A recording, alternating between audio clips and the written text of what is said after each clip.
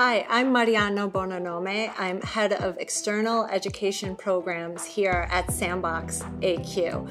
And I wanted to share a bit of my AQ journey. I started out as a college professor in the Department of Mathematics for the City University of New York, City Tech, downtown Brooklyn, and I taught as a college professor for about 20 years.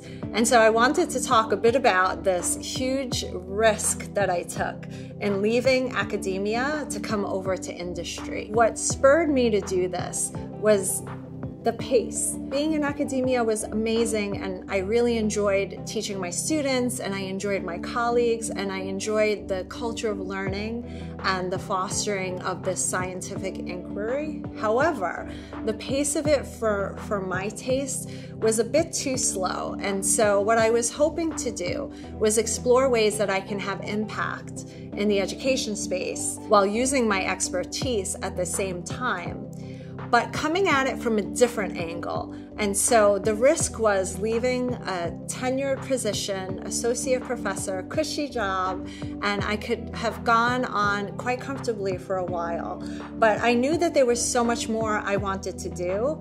I wasn't using my background in quantum algorithms, I wasn't drawing on my joy and communicating with folks, science communication, and creating new processes, new products, and being part of a revolution. I was looking for something along this vein, and I was very fortunate to find Sandbox AQ when it was still in stealth mode. And it, for me, it was a no brainer. When I learned about the fostering of the love of learning, a moment in my career that was transformative for me took place when I was an undergraduate. I went to an engineering institution in downtown Brooklyn. Back then, it was referred to as Polytechnic University, but now it is known as NYU Tandon School of Engineering. And three years into my program studying physics, the department decided to shift uh, focus and decide to no longer offer the physics program. So, as a junior, I was quite devastated, as you would imagine,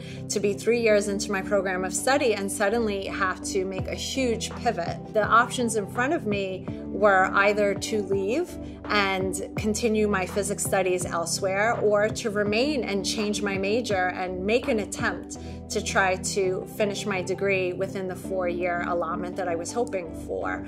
And at the time, I was on a full scholarship, and so I was not able to afford the change in university. And so I decided to remain. And what was totally frightening for me was the fact that I was basically starting over in a different major three years in and having to play this big game of catch up. We talk sometimes about imposter syndrome, had a major feeling of imposter syndrome. Three years in, now with math students who have been focusing and, and in this mindset of a mathematician for three years, I felt like I was lacking that experience and I just felt very much as a, a fish out of water, so to speak. And I took a huge risk and a chance to change my major from physics to math, and this was a huge mindset shift.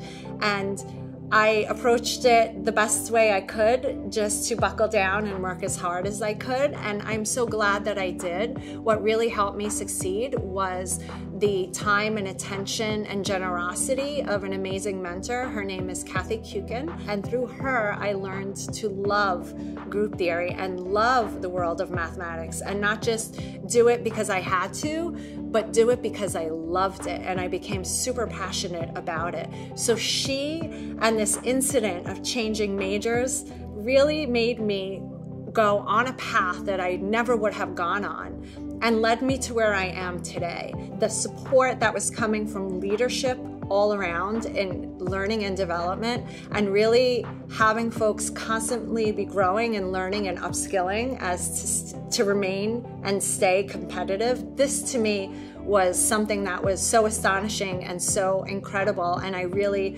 valued this vision. And so I took the leap in coming from academia into industry, and I'm so glad that I did because now I'm able to still correspond with many university faculty, with students, support their work, and really bring awareness to the general audience and to our customers and to between our own verticals, the impact that we're having by bringing awareness and opening opportunities for students in the space, helping build curriculum and training this next generation of quantum and AI engineers, this will have a, multiplier effect.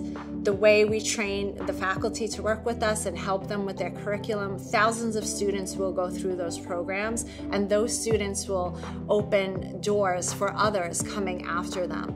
And we really hope that this continues on and, and the trend is exponential. Awareness of AQ. What is AQ? What is its potential? To me, that's fascinating, it's invigorating, and super exciting what I can give, if I can just reach some folks out there to say, when you have a mentor that impacts your life, and if you're given a decision that perhaps you're not too thrilled with, to try to make the most out of it and to lean on those folks who are there to give you support and to also turn back around and say thank you and to try to pass that on to other folks in your sphere. The way folks are generous and, and give to you, you can turn around and give back in the same way. So I highly recommend that. And it's been my pleasure to be able to work in the education space and be supported by folks at Sandbox AQ. And I just hope to bring that message and pass that on to the next generation.